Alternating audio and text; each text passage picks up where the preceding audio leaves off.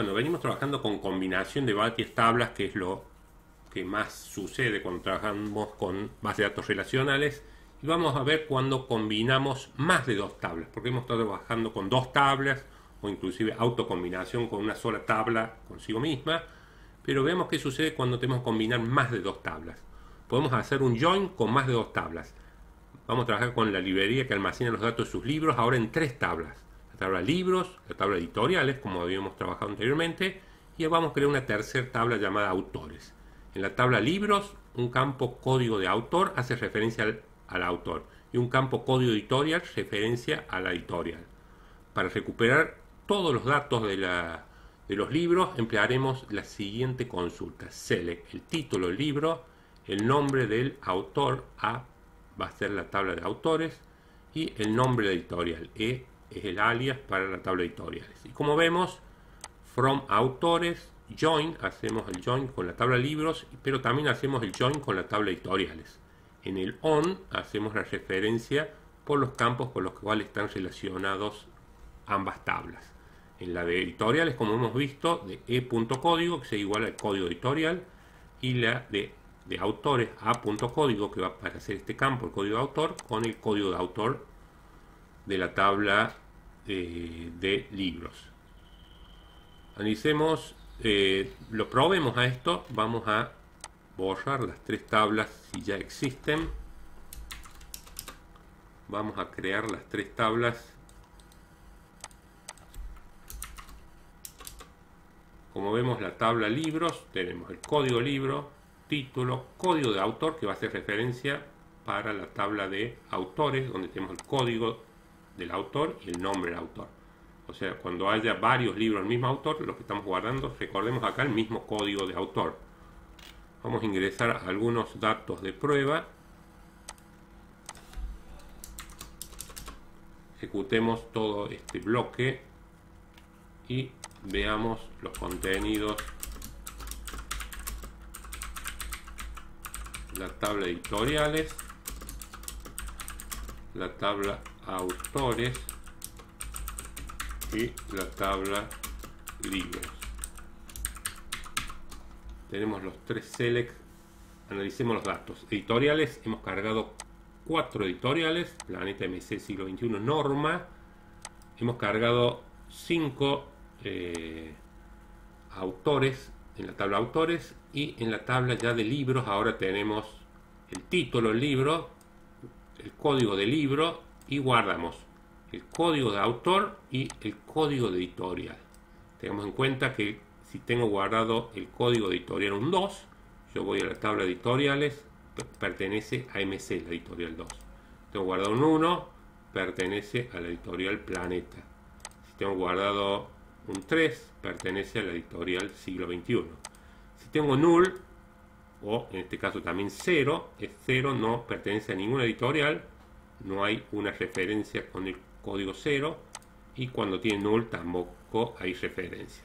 Lo mismo pasa ahora con la tabla de autores.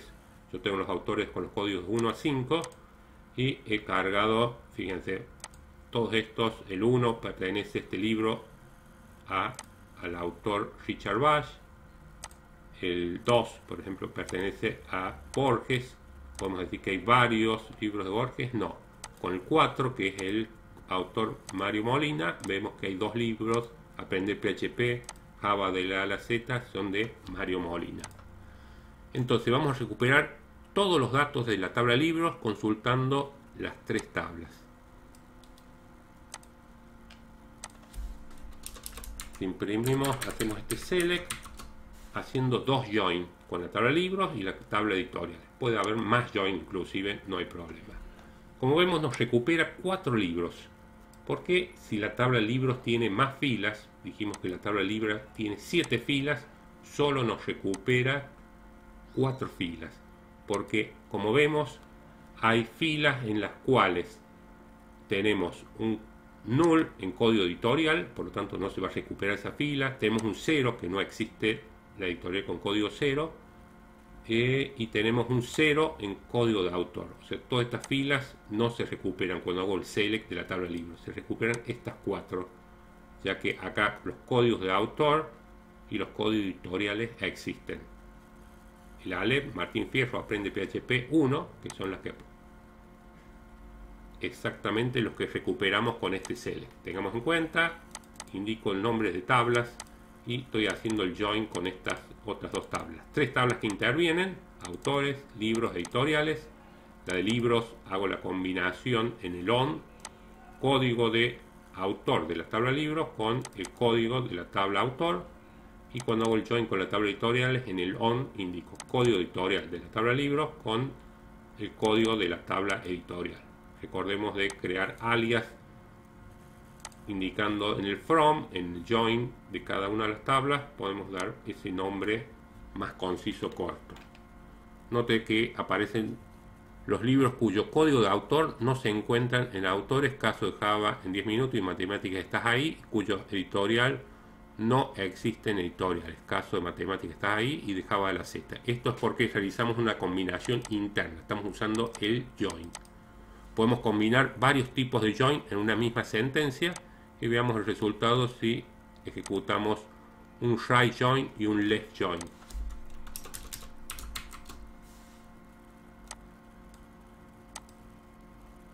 Bueno, ahí tenemos un right join, dijimos right join va a recuperar todas las de libros, por eso están los siete libros, que en el caso de que no los encuentre va a devolver las filas con null. Y como hemos usado un left join con editoriales, ahí tiene en cuenta autores. Bueno, con esto podemos ver que podemos combinar. Lo más común son los join, pero eventualmente podemos hacer right join, left join. Y lo veamos con otro problema este. Vamos a hacer... Dice que un club dicta clases de distintos deportes.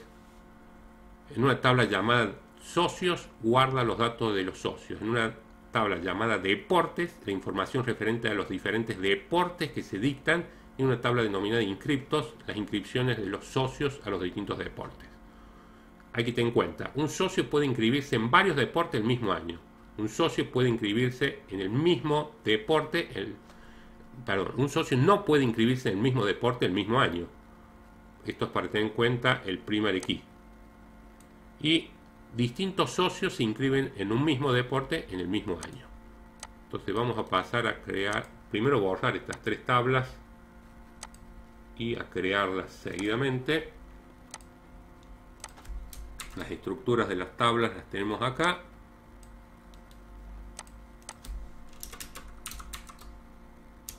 Y algunos datos de prueba van a ser estos.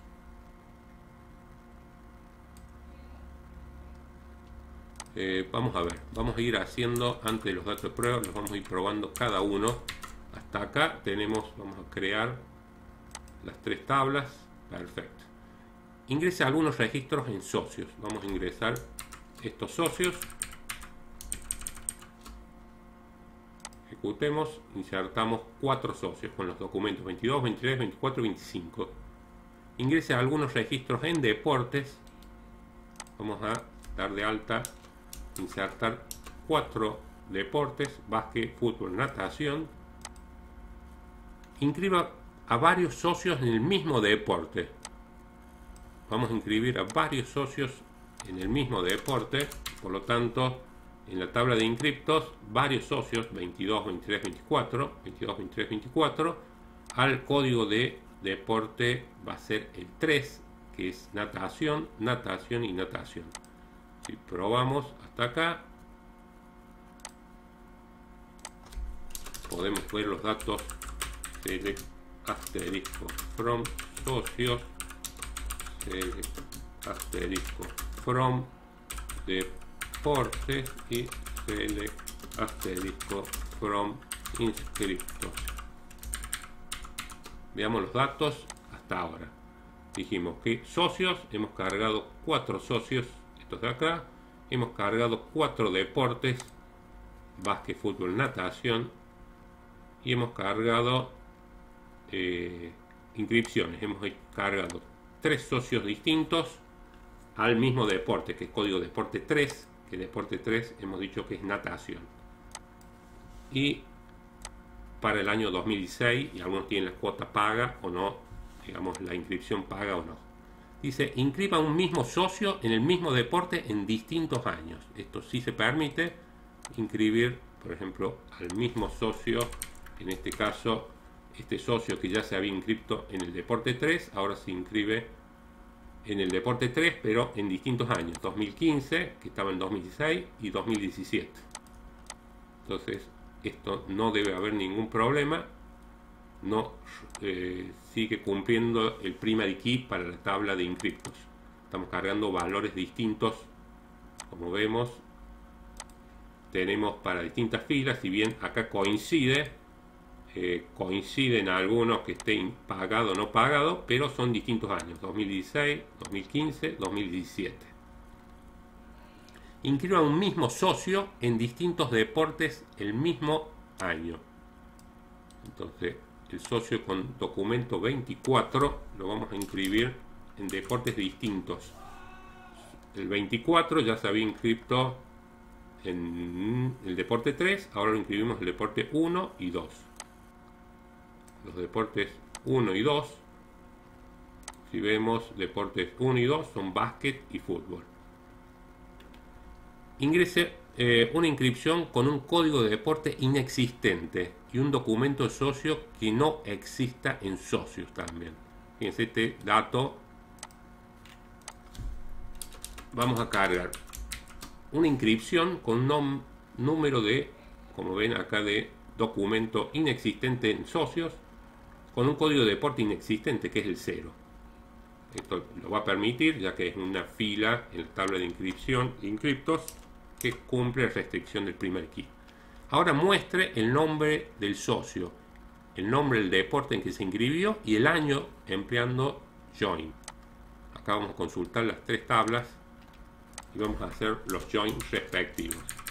Vamos a imprimir el nombre del socio, el deporte en que se inscribió y el año en que se inscribió.